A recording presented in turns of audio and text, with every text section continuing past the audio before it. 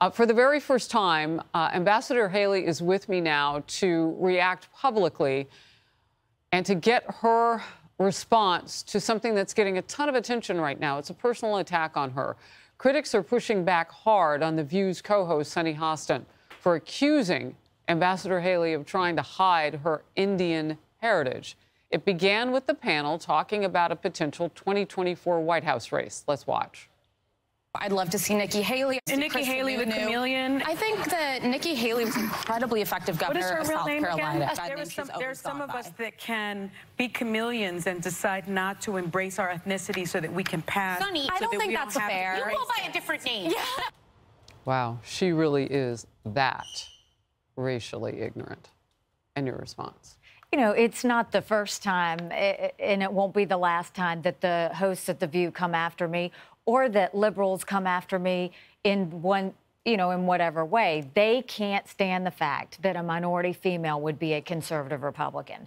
You know, when I ran for, um, when I ran and won governor, um, a, a reporter went to a high-ranking African American Democrat female and said, "How do you feel that South Carolina now has their first minority governor?" And she said, "Nikki Haley's not a minority; she's just a conservative with a tan." So Ooh. you look at what Sunny Hostins does, and you know the idea that no, Sunny is not her name. Nikki is my name. It is on my birth certificate. It is an Indian name, and I embrace my Indian heritage. I have written two books that describe the struggles that my family had, what it was like growing mm-hmm. up. But the idea that they can do this, you're not going to see her fired from that show. We're not even going to see an apology from that show because they let liberals say that about conservative Republican minorities all the time. But yet nothing is done. Had this been said about a Democrat, all hell would have broken loose.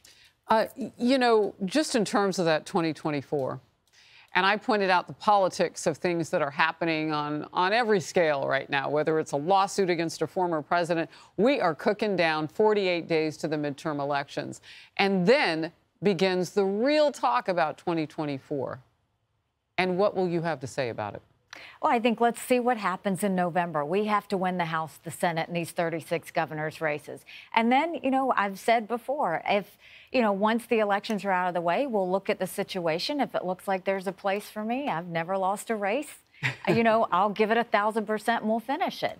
Um, but I think it's really important we look at, at November. And what I hope Democrats realize, you know, when they look at what happened on The View is it's Democrats that are racist. These liberal extremists are the ones that are racist. They're the ones that won't, that think minorities are incapable of going to the DMV to get an ID mm. to vote. They're the ones that are racist that say minority parents are incapable of finding the school for their children. Let's let um, independents, conservative Democrats realize that no, it's not Republicans that are racist or sexist. It's liberal Democrats that have done this for a long time. And I hope that that really goes to the heart of what happens in the House, Senate, and governor's races come November. Well, you know, I've always been grateful when people show you who they are. I, I don't want to think that someone is one thing and then you find out later, no, they really are the enemy. So there is a favor to be thanked for all of this. I know it, it can be it can be harmful to your feelings, but at the same time, you know exactly where some of these people stand. No, and look, none of this bothers my feelings. I mean, I brush it off my shoulder.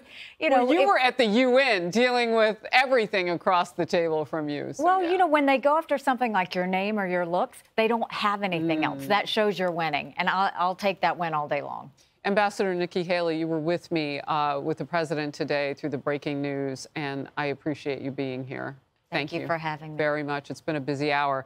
Thank hey, everyone. I'm Emily Compagno. Catch me and my co hosts Harris Faulkner and Kayleigh McEnany on Outnumbered every weekday at 12 p.m. Eastern, or set your DVR.